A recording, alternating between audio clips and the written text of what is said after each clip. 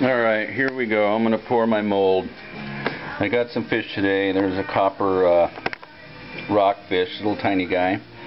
And I got caught a little sand dab. So they're, you know, halfway embedded, or this guy is anyway, in the plaster. This guy is, you know, pretty much just floating on top. But I filled some little spots where the fin got sunk in, which sucks. It's really hard to get those fins spread out and not pushed under the uh, plaster.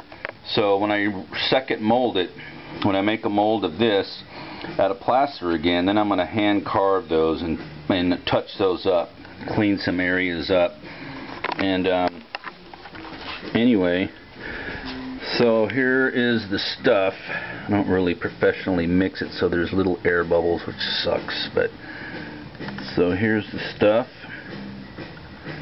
and I just pour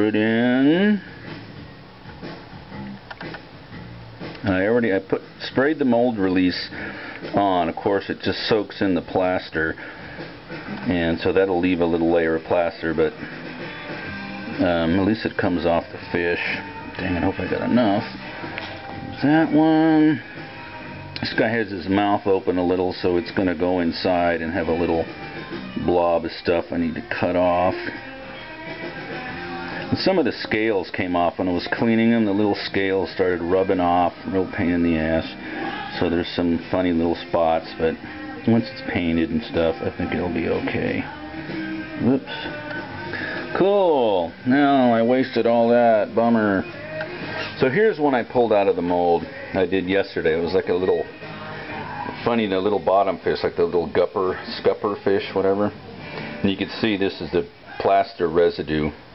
So what I'll do is make a frame for it, frame it up, pour it in plaster Paris, pop it out, trim it up, and I can trim it to the size I want, get out the imperfections, and then do this again, and do a second mold, and then that'll be my final mold.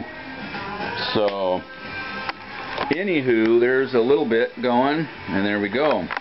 So these are my new molds, and um, yeah, the hardest part is getting them fish laid in and the fins, you know, looking good. That's that's pretty stressful, but um, any hooba, there you go. Thanks for watching.